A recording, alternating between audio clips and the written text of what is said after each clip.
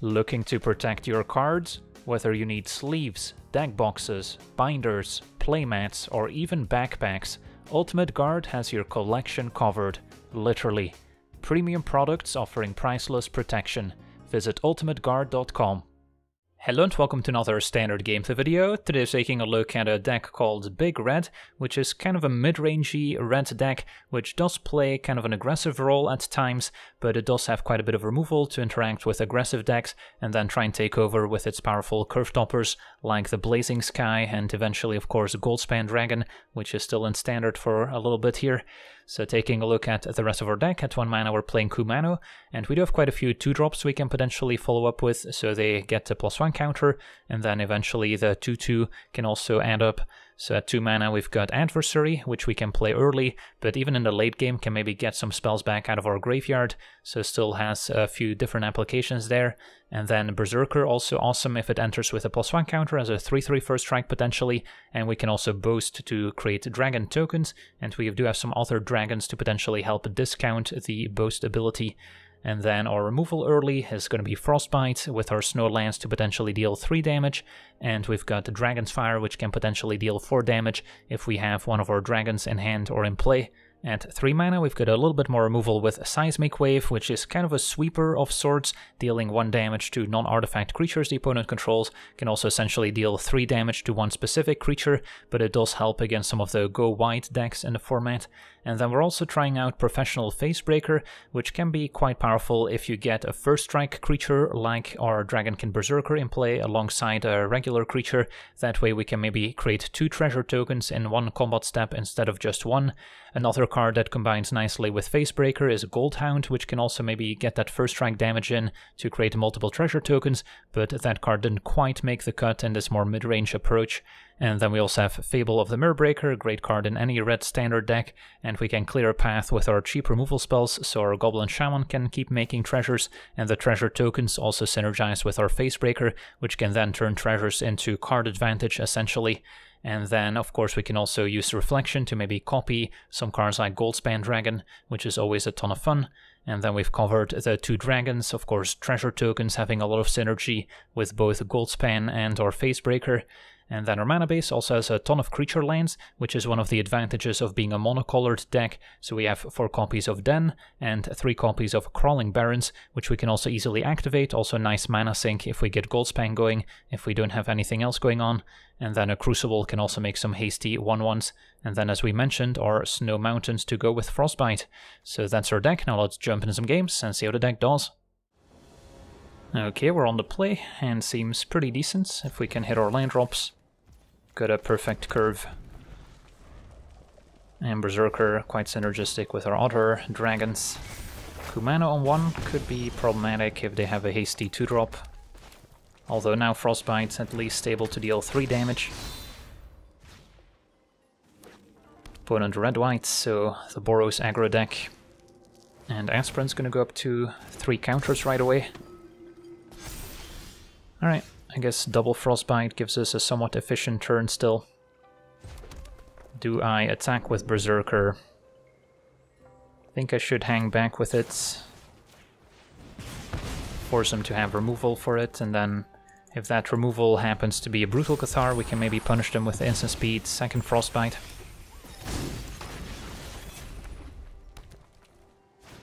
It's gonna be a Royal Eruption instead. Alright, maybe missed out on a little bit of damage, but that's okay. Do I want a Frostbite Etching? Not really. There's definitely higher value targets. Problem is, I'm probably going to be tapping out for Fable if I don't draw land. If I knew for a fact I was drawing an untapped land, I would not Frostbite here and just play Fable, keep up Frostbite for like a Raiju before it picks up a counter. Yeah, you know what, let's play it safe here. And Adversary the draw. So we can play this, and hang back to trade for etching. And keep Frostbite for Raiju before it goes off. Perfect. All according to plan. So don't want that to attack. And happy to trade. Otherwise Blazing Sky might not trigger if it dies. Fable's the only option now. So we could still easily lose despite a pretty great start from our deck, being able to answer their early threats. Another Kumano is not too bad. And the Cavalier is gonna hit us for three. Okay. So, do I want to discard anything? My guess is we just play a Blazing Sky this turn, after attacking with our Shaman, and then next turn we can Goldspan, don't know if another Goldspan's better than digging for some interaction, especially if there's Brutal Cathar for Blazing Sky. Although I imagine we would have seen it on the Shaman. I think we hang on to Goldspan.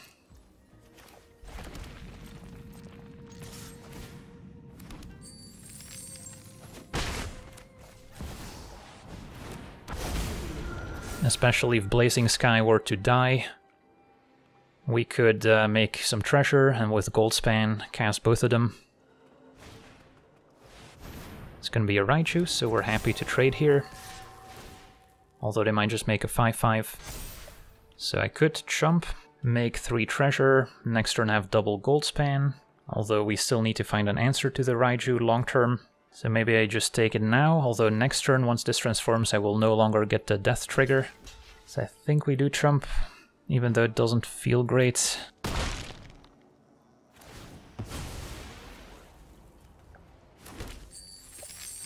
Alright, so what's our plan here? We can Goldspan into another Goldspan. We also have a Crawling Barrens we cannot forget about, which could certainly come in handy. Yeah, I guess double Goldspan is fine here. Hit for 8, and then next turn we could hit for 12 if we copy with Reflection, and I'm fine jumping with a Shaman. And then Crawling Barrens could also potentially help out if needed.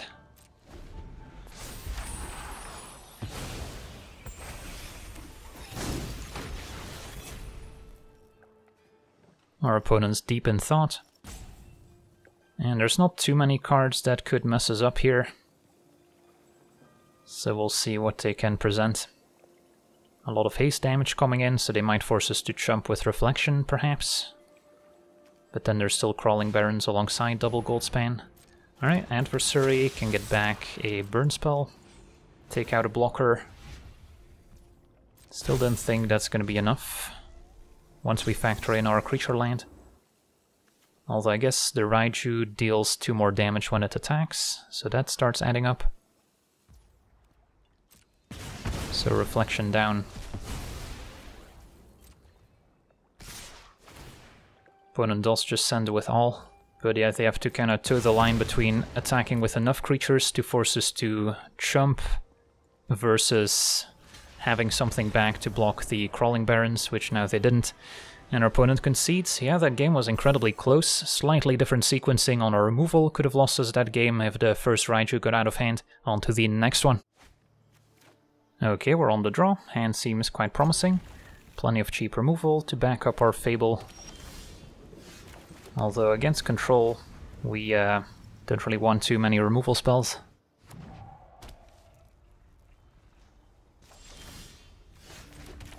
Let's see if the Hasty Adversary survives.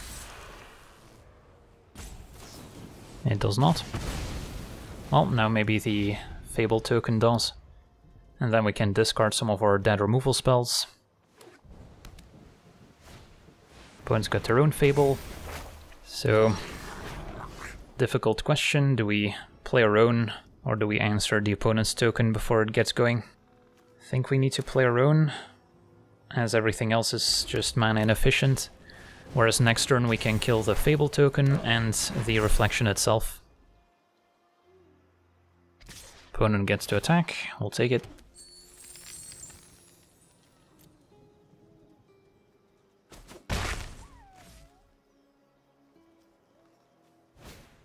And iteration to play. Finds a land. So the full 2 for 1.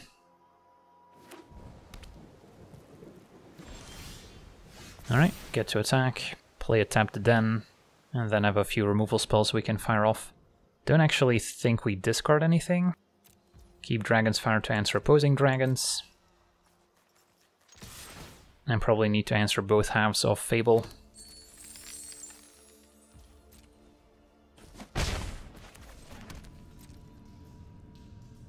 This also has the upside of playing around Jwari Disruption.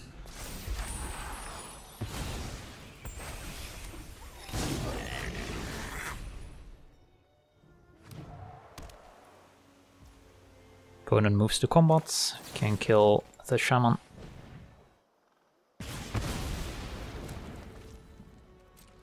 Now I might not want a Dragon's Fire Reflection yet, because let's say I play Goldspan next turn attack. I'll have three creatures in play, and if I kill my opponents versus zero, so then if they play a board wipe, I'll be pretty far behind. Or we can take a different approach, and instead of Goldspan, just attack with uh, creature lands next turn, so we diversify a little bit better. Let's try that. No need to reveal Goldspan. It's gonna be a big score in response. Okay. That works. Alright, now that we have a backup Goldspan, it's probably fine to run one out there. And hope there's no board wipe, but if there is, we can still rebuild.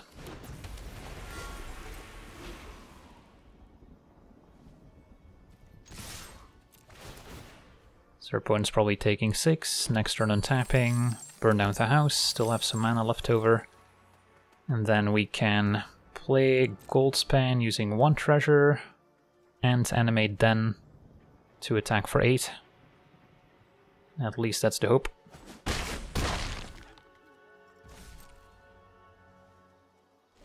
But maybe something else will happen here. Nope, burn down the house.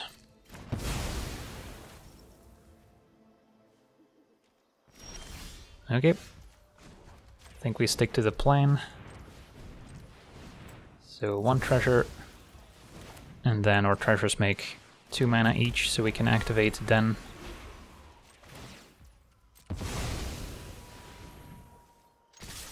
And I could play Berserker afterwards.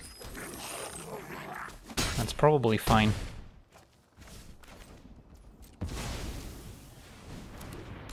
Their opponent's at 4, facing two lethal creature lands, and they need to answer the board as well.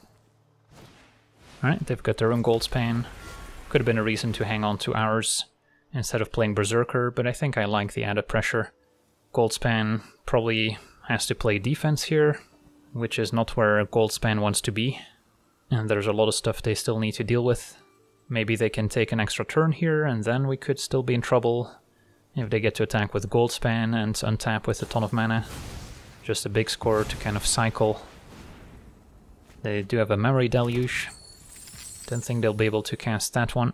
So still 7 mana, potentially 9 if they attack. Better opponent between a rock and a hard place. Fable as a chum blocker on the ground. And then our plan's probably going to be to animate Den, attack with Goldspan, and then before blockers cast a Dragon's Fire so that we can still uh, attack with a den, otherwise that wouldn't work. Attack with all. Make a treasure, and then Dragon's Fire.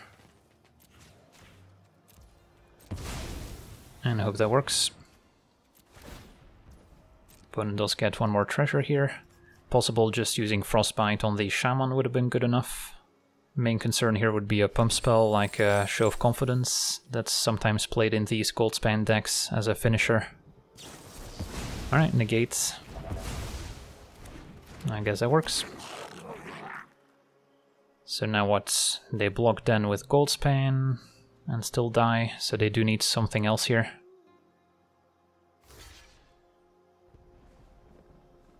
And this also has them taking 4. Alright, so barely managed to finish off the blue-red control deck. On to the next one. Okay, we're on the draw. Hand is quite promising. Kumano into adversary. Concealing curtains could maybe get in the way. Now we also have the option of Berserker, as opposed to adversary on 2, since the haste doesn't really matter when they can block our 3-3. So mono black control Having creature lands going to be important. And hasty goldspan dragons are always welcome. So Berserker for now.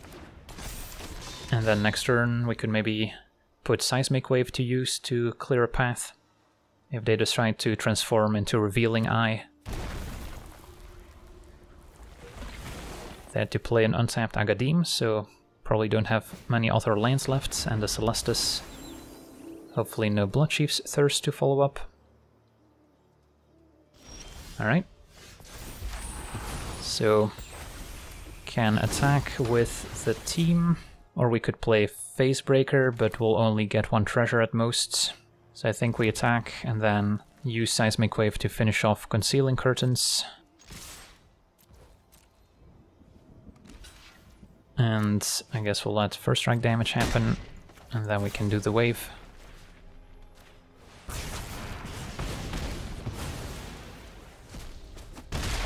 Okay. This would be the perfect spot to play Facebreaker and make a bunch of treasure. And a Massacre, sadly, gonna wipe our board, thanks to Celestus. Now our board looks a lot less exciting. Field of Ruin also an answer to Den. Well, I guess double Adversary is to play here. Hit for four. And hope there's not too many more sweepers in our future. It's gonna be a Tergrid, 4-5. Well, does die to Frostbites and conveniently have three Snowlands. Their opponent's definitely gonna block. And Tergrid can be finished off. And I'll hang on to my treasure for now. So that worked out. Timely top deck. Trespasser can try and stabilize them. Although Facebreaker can still attack past it, and so can a Den. Alright, now I guess I can double block Facebreaker.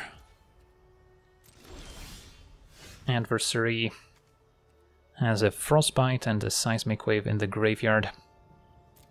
So I could play Adversary for 5 mana, and then get back Frostbite, kill Trespasser, and discard the other Facebreaker to pay for it.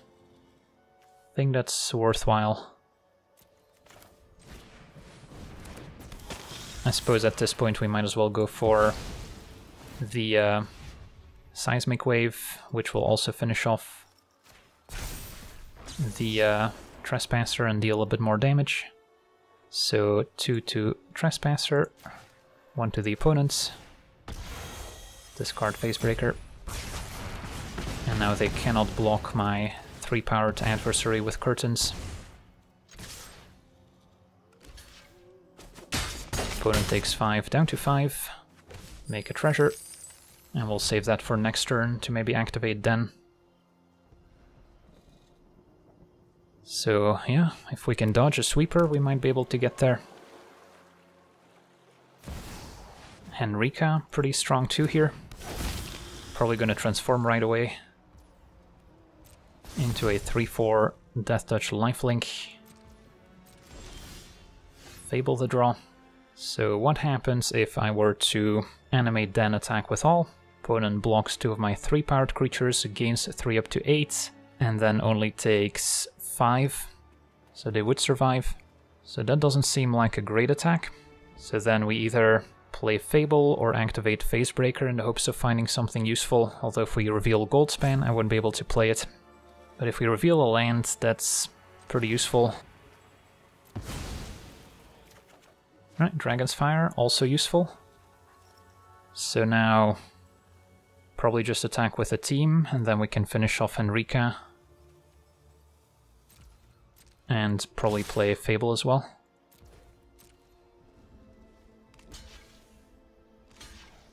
So that happens.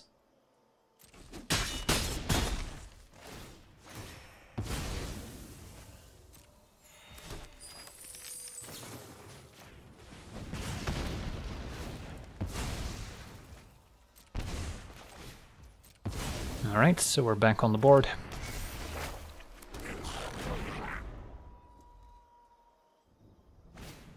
Ooh, blood on the snow, did not want to see that. At least they didn't have a ton of snow sources, but still gets back a curtains. And I think we discard Kumano at this point. A land would be better to activate then draw Kumano anyway. Yeah, this game might slip away now. Just needed to dodge another sweeper. Couldn't quite get there. They still have a Field of Ruin to answer Den, so we're not working with a lot here. Celestus, gonna provide a bit of card selection too. Still haven't drawn any Goldspan Dragons, so I guess we can still count on those showing up.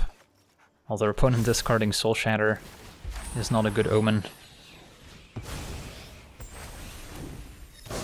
So we've got a Reflection. Any point in activating Den, I guess might as well make him do it. Although, if they have another removal spell, keeping Den around means we can maybe cast a Goldspan if we draw it. So, not sure. Opponent's probably going to feel the Ruin anyway. That's fine.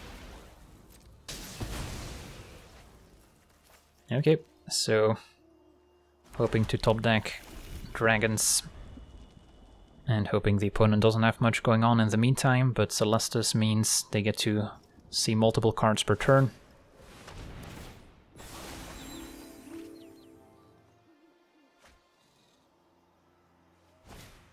And the Disciple, just a 1-1 blocker. Dragon's Fire is the draw. Okay, so... Yeah, I guess copying Etching, if they block with Curtains, I can finish it off with Dragon's Fire and exile it in the process. So that seems fine.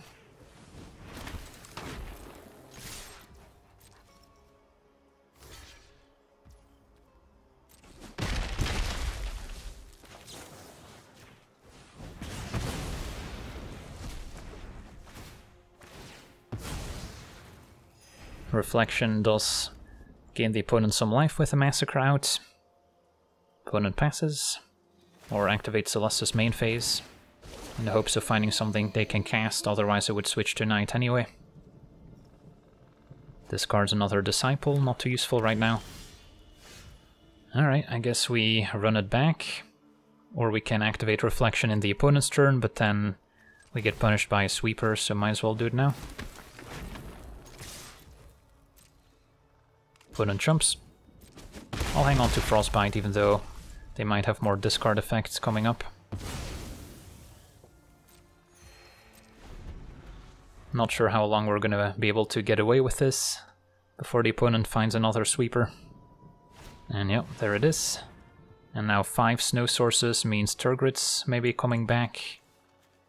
Or did we exile her? We did not. Yep, so Tergrid's gonna take over at long last. No creature lands to work with.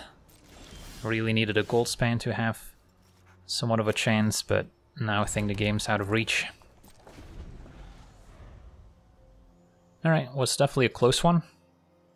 If we dodge the second sweeper, we maybe get there. Kill Henrika before she triggers.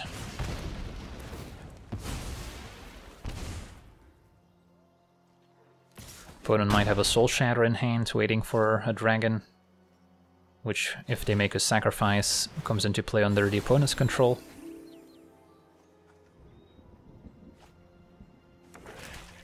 Well, opponent is empty-handed, so I guess we'll give it a shot, although opponents just put a Hive in play, so they've got a two-turn clock between Hive and Tergrid. That being said, attacking is still probably our best option as both creatures have Menace and Invoke Despair. Yeah, that's a pretty good description of how we're feeling right now. And also combo with Tergrid, so our opponent finally got some value onto the next one.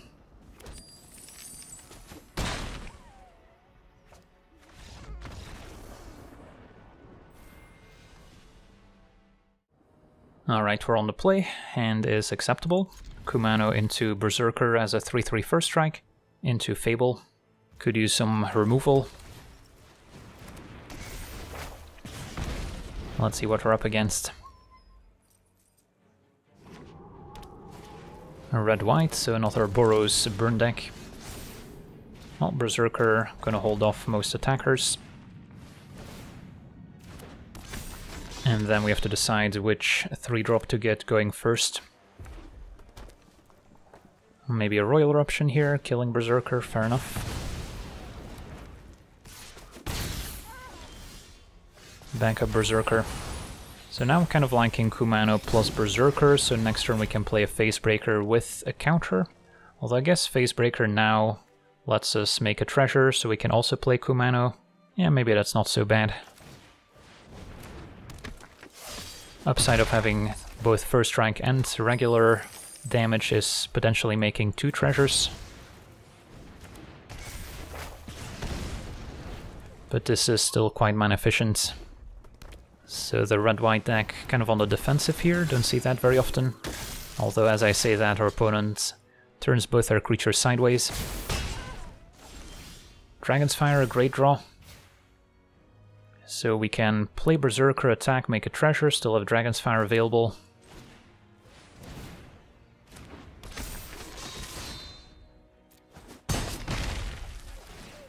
And cast a Dragon's Fire at our convenience. Gonna try and kill Cavalier before it can train Initiates. Although right now they need an answer to Berserker before they can consider attacking.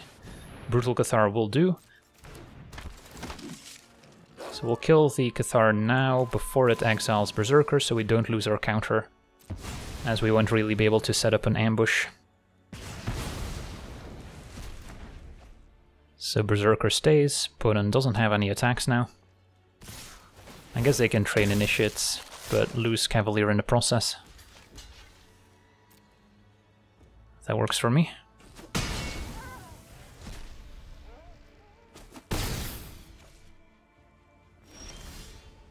And another Facebreaker's Excellence. Can play that and make all the treasure in the world. Opponent maybe holding on to a Play with Fire.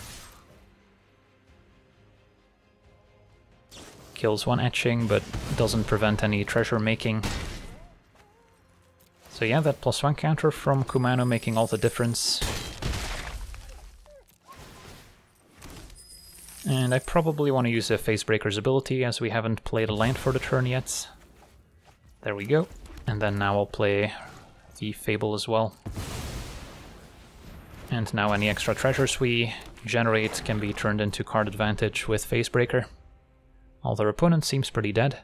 Could have also made a dragon with a berserker, just by boasting potentially. But our opponent explodes, so yeah, definitely put uh, Boros Burn deck in its place here, but had a pretty great draw as well. Okay, we're on the play, our hand seems fine. Bit of removal into a Berserker. Hope to find some 3 or 4 mana play to bridge the gap to Goldspan. let's see what we're up against. We are missing creature lands, which could come back to haunt us, especially if we're up against control, but still plenty of time to draw Den or Crawling barons. Barrens. Opponent blue-black, those look like control. And we found a Fable, so that's a nice turn 3 play.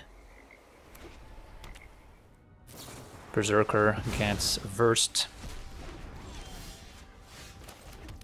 Can maybe play our Den next turn. Frostbite still useful for maybe tagging a Planeswalker, but might end up getting discarded to our second chapter. It's gonna be a Skyclave, exiling our enchantment. Okay, and Dragon's Fire the draw. So I can attack with my Shaman, and then we could even play Goldspan's second main if we'd like. Does play around a counterspell, I suppose although we don't get that hastes benefit. Or we can take out Skyclave and keep our Shaman token around and play a tapped Den. Kind of a close call. Opponents might have access to Wandering Emperor next turn, great answer to Goldspan as well. So there's a lot to consider. I don't think I need to play around a counterspell too much, so let's just take out Skyclave using Frostbites. Get a token back, and then this may already be enough to prompt a sweeper from the opponent, which would then set up our Goldspan nicely. Uh, it's going to be a main phase Wandering Emperor. Love to see that. So now Goldspan's more likely to survive, although they might have a backup. So token gone.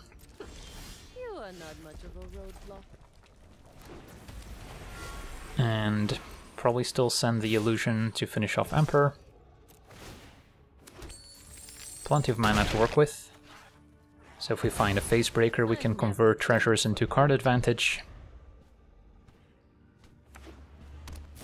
And yeah, they had another Emperor, not too surprising. Still have a Den of the Bugbear at least. Can easily finish off the Emperor with a 1-1 token. And an Adversary is not bad. Could go for a Frostbite as well. Activating Den's a little too tempting though, as a 1-1 just lines up so nicely. And then I'll save Adversary for another turn.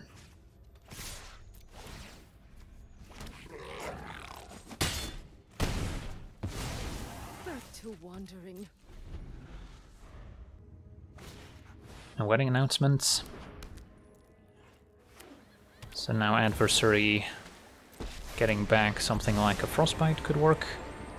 Could also take out Kaito with the Dragon's Fire before it phases out. And then our opponent's gonna have a couple blockers, but we can take one out. Yeah, sure.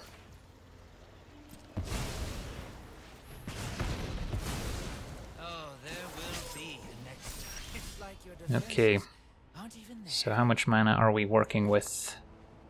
Don't think we have enough for Den and a kicked adversary.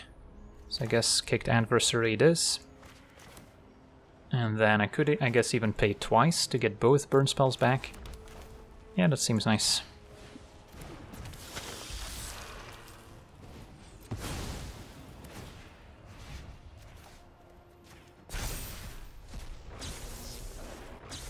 So we'll clear a path, get in for 8, and then even if a board wipe were to happen, we still have a den left over.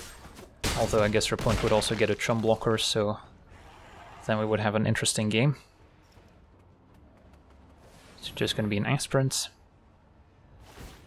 So more of the mid-range variety than pure control. And send in Den, Dragon's Fire Aspirants. Can see if they maybe have a response to us attacking first. But they don't, and our opponent concedes. On to the next one. Okay, we're on the draw. and is probably fine. Could use a third land, of course, but plenty of draw steps to get there. And then Berserker, also a decent creature on defense. Can play a Den for now. Red-green might be werewolves, or just kind of a mid-rangey Chariot deck. Facebreaker, pretty good alongside a first strike creature. Although I would probably play a Fable first, and then we can maybe have both a first strike and regular creature connecting for two treasures instead of just one. Jwari Disruption to counter, and the opponent has their own Fable. Well, I think we get our own Fable going, or we can play Facebreaker to block, and then if they have removal, we're in trouble or even uh, partners to put counters on the shaman. Yeah, this puts us kind of in a rough spot. I think I get Fable going since I need to get extra lands to uh, hit my land drop next turn. But never want to be on the receiving end of a Fable, as the opponent's going to get to attack first, draw cards first, find answers to our shaman, and kind of snowball their on the play advantage. Which is why having cheap one mana removal is so important happen to draw our two seismic waves, which are a bit clunky. Soaring City at least takes up their entire turn to bounce our Shaman. And then, what do we discard? Probably one adversary and either a wave or a fable here. I guess I can play a Facebreaker in the hopes of next turn also having a Goldspan to go with it. Alright, Dragon's Fire's not bad. So Facebreaker for now. No immediate treasure, sadly. But we can block the Shaman. And then next turn maybe clean up the reflection with a Dragon's Fire if we hit land 5. Boy's got their own Dragon's Fire. Token attacks. Opponent maybe ramping into a Titan of Industry at some point to copy with Reflection. And a second Fable. Okay, so no land 5 for Goldspan. So can play Berserker, kill Reflection with a Dragon's Fire. Probably the best we can do. And our opponent does seem to be holding an instant here, so might be another Dragon's Fire. Berserker, good blocker for the Shaman as well. Yeah, hope there's no Titan of Industry coming up. It's gonna be a Voltage Surge killing our Reflection, so that's what they were holding. And another Voltage Surge kills Berserker, take four. Alright. Get to play our Goldspan now, and then next turn double Seismic Wave can clean up the board. At least that's the hope.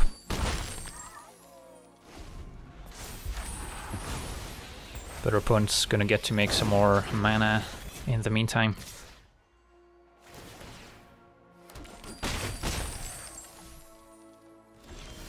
Alright, so we can Seismic Wave the opponent's face here twice, and don't get to activate Den, so let's just attack. Could wait for the opponent to maybe play a creature that we also get to kill, and if they reflection the shaman that would die to Seismic Wave anyways. So I guess there's no real downside to waiting. Opponent copies the shaman. And before they get a chance to attack, we'll double wave. They could have picked up another Jwari Disruption, but can easily pay for it. So it's double red.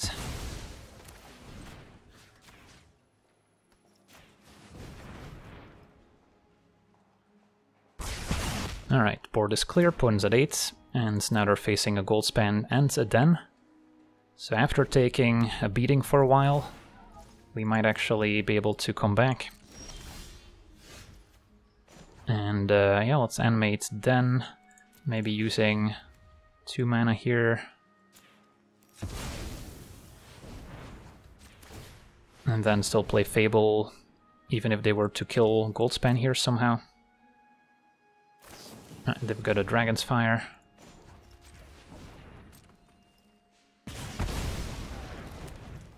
They did wait until beginning of combat, so don't get to play Fable without sacking a treasure. But that's okay.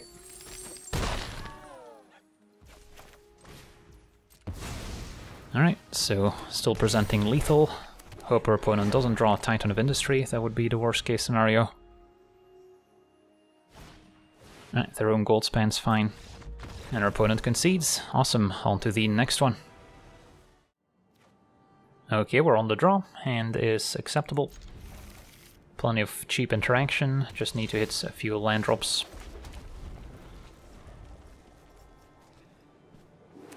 Up against Mono White, Aspirant is gonna die. And I guess we'll get Adversary going. Dragon's Fire can deal 4 damage, important to take out Adeline.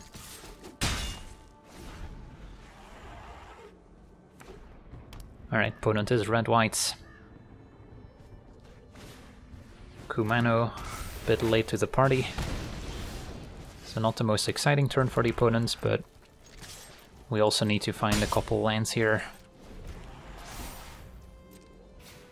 If they have fourth land plus Raiju, we can still kill it thanks to 4 damage. It's gonna be an adversary. I think we Seismic Wave as opposed to Frostbite, just because it uses up more mana.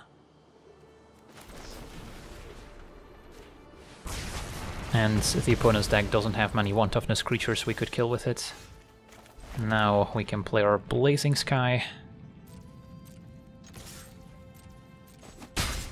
Although we do have to watch out for their etching. If we lose our Blazing Sky with etching out, we might not get any treasures if it gets exiled.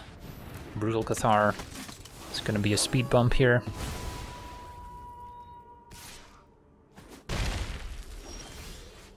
And Goldspan can attack alongside adversary. And then we can Frostbite Brutal Cathar, but I'll let them block if they want to. They don't. I guess we can pass and still kill Brutal Cathar in the opponent's turn. In case we need to answer a second Brutal Cathar. Okay. I think that's fine.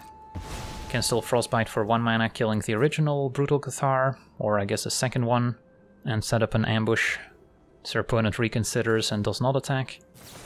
So now get back Blazing Sky, and then we can Dragon's Fire in my turn to get the Hasty Gold Goldspan back so both can attack.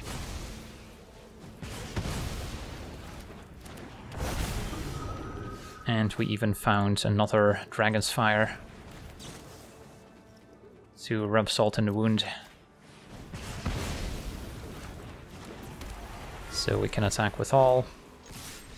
And our opponent explodes, so yeah, very quick dismantling of red-white aggro, which remains one of the most popular decks in Best of One Standard. But uh, yeah, overall, playing some close games with this kind of mid-rangey mono-red deck. It's not going to have a stellar win rate by any means, but if you're looking to play Goldspan while it's still standard legal, this is a nice home for it as always. So that'll do it for today's gameplay. Wanna thank you for watching, hope you enjoyed, and as always, have a nice day. I also want to thank all my patrons for being part of the channel, and you can become a patron yourself today and decide the topic of future videos over at patreon.com forward slash legendvd.